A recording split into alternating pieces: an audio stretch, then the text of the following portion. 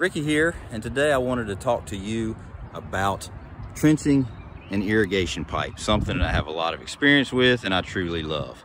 So here we have a machine with a four inch trencher, and this is common in the industry. Most people use these if they're doing residential like commercial irrigation.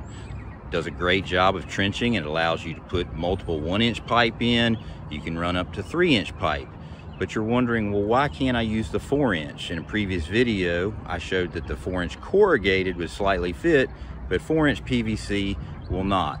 Well, that has to do with the fact that PVC piping is measured from the inside diameter. So this is listed as a three inch PVC pipe, and that's the inside diameter. If you actually look at the outside diameter, you can see that it's well above three inches. So if you had a four inch pipe, the four inch pipe is gonna have an outside diameter larger than four inches, therefore it won't fit. Now there are some things that you can do. There are trenchers that are, have larger chains that you can get. And I wanted to show most trenchers in the industry have this piece on the front and this is called your crumber. You can see it right here and the idea what the crumber does is it drags the dirt back so that the dirt will get kicked out to the side with the chain. A lot of these crumbers can be replaceable and you can get a larger crumber.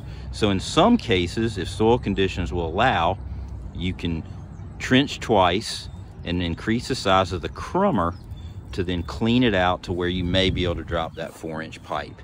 But if you have heavy clay soils, heavy rock soils, that may not be the case.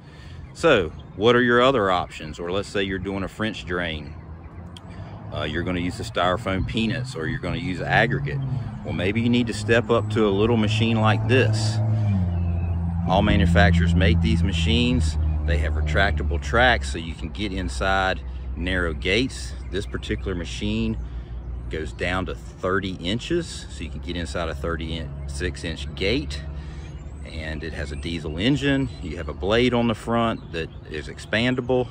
And on this one, they have a nine inch bucket and you can see this nine inch bucket allows the four inch corrugated pipe to sit in the trench and you have plenty of room to put aggregate around it or if you're using the pre-manufactured corrugated pipe with styrofoam peanuts. This may be the solution. You can also upgrade to about a 12 inch bucket my experience with these machines is that probably 12 inch is about all you want if you're in hard soils if you're in loose sandy soils, maybe you could go a little bit bigger. But that's two options that you can use for one, your drainage and your trenching.